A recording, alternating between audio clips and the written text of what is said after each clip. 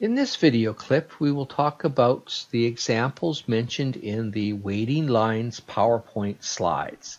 One of the examples deals with customer arrivals and modeling those customer arrivals using the Poisson distribution. The other example deals with modeling service times using the exponential distribution. So we'll learn how to do both of those using Excel. Our first example is that we're modeling calls to a call center and they are made randomly and independently. So that's our customers are arriving. We model that with the Poisson distribution.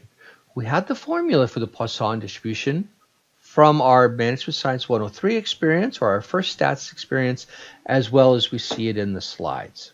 Okay, This formula, whilst we're going to use Excel to do the actual calculation gives us key insights into the important components that we need to keep track of so that we're entering the proper arguments into our Excel function.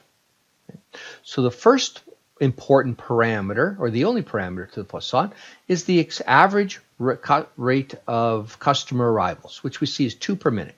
So I'm just going to enter that as two, and then that's a per, per minute measurement. So it's always going to be per some time unit. The customer uh, center has three customer service representatives, none of whom is busy, and we want to determine the probability that all calls will be answered in the next minute. Okay, so that's one minute is our time. All calls are answered in the next minute. When does that happen? Well, if n is the number of customers arrive, we are able to answer all calls when? Well, when no customers call, clearly. Uh, when one customer calls, because then one of the customer services service representatives is busy, the other two are not, or when two customers call and two of the three customer service representatives are busy, or when three customers call and all three of the customer service representatives are busy. Fourth call, one person gets gets a busy signal or, or is put in the queue. So as long as that n is less than or equal to 3, um, we'll be able to answer that call in the next minute. So that's a cumulative probability, right? We've got probability that 3 call, probability that 2 call, probability that 1 call, probability that no call. We add them all up and we get the probability that 3 or fewer call. Now, if we were doing this by hand, we'd have to do each one of those four calculations individually and sum them up. With Excel, however, we can use the Excel function or specifically the Poisson function. So Poisson, and the new versions of Excel, it calls it the Poisson.dist. Uh, old ones called it Poisson. I don't know why the .dist is an improvement, but apparently they've got that in there. And so we're thinking here when we our first argument is x. And x is equal to 3. Why? Because we know three, three calls. All customer service representatives will be busy, but everyone's call will be answered. For two, for one, for zero, same story. So we're looking at three is the biggest number. Okay. The number, the means, is just simply lambda times by t, right? Looking at the formula, right? I see my lambda t, key parameter there. And so I can enter it into the Excel function exactly as I see it in the formula. And then because it's three or fewer, we want the cumulative distribution. If it were just exactly three, we'd click zero or false uh, for, and we get the probability mass function. Probability mass function just says I want the probability of exactly that x. Not higher, not lower, but exactly that x. Okay? When we pick cumulative, it's that x and less. Close the bracket, and I push enter. So the probability that all calls are answered in the next minute is 0.857. Because of the way I've situated here, where lambda times by t is now my key parameter, if t now switches to 2 minutes, I just have to push enter and change 2, and I see how that probability has changed. Okay. Next question is, what if I want the probability that all three will be busy? Okay, so that means that my n is exactly equal to 3. Okay, every single one is busy, but there's nobody waiting. So three calls come in. In that particular case, this one over here at the far end where I said three or fewer, now I put in a zero saying I want exactly three. Note the difference. Now, it says probably that all three will be busy in the next minute. So that means I'm going to need to go and change that T to 1 next minute. Okay. So notice the T is back to 1 because it's only over 1 minute. The 3 still stays the same because I want all three to be busy, but this last argument is switched from a 1 to a 0 to reflect the fact that I want to find just the probability that exactly 3 call. 3 customers arrive. Probability that none will be busy, that means our n is equal to 0.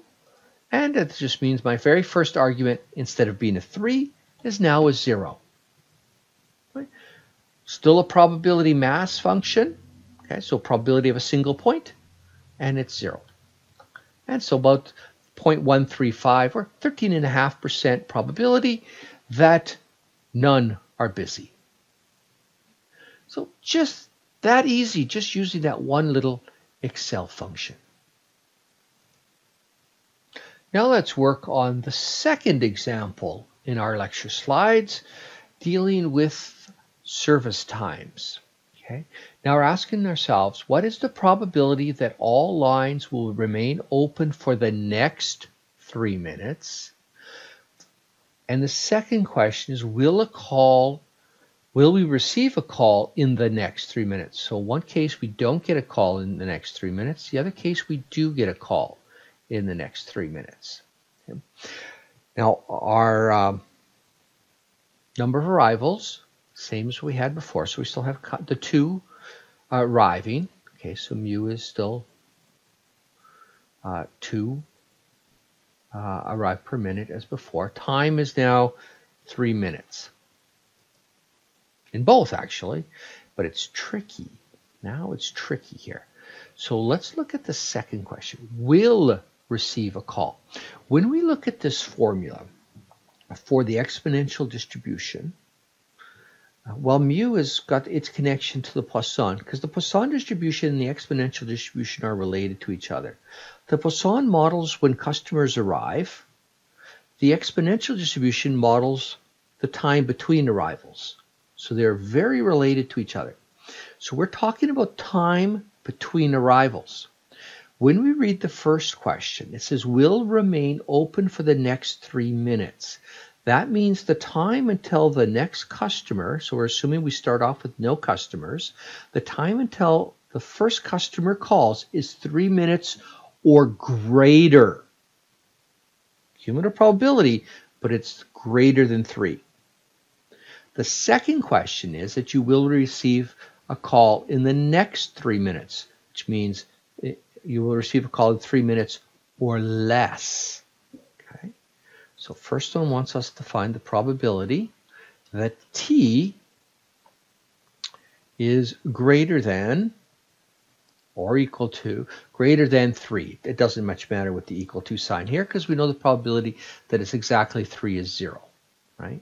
Or versus the probability that uh, t is less than 3.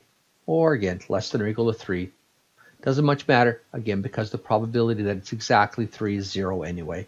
So we don't have to be quite as uh, picky on, on the, on the uh, notation as usual. Okay. So greater than 3, less than 3. When Poisson, when Excel gives you a cumulative distribution, the default is that it's less than or equal to whatever x is or whatever t is in this case. Okay. So if we use the expondist function equals to expon and expondist in the old version, dot dist in the new. That's certainly worth an upgrade. Now, what's x? x is the t, right? Just looking at the formula here. Right? x is that t. So the default here will be that at t less than or equal to 3. What's my lambda? well, rivals per minute. Yes, it's cumulative. It's always be cumulative. Probability that's exactly a given point is going to be zero. The probability density function does not give us a probability. Okay. Close the bracket. And so the probability that I get a call in the next three minutes, 99.75%, very, very high. The probability that I don't is just a complement of that. Or about 2.5%. Or actually, no, 0.24, 25%. Sorry, my bad.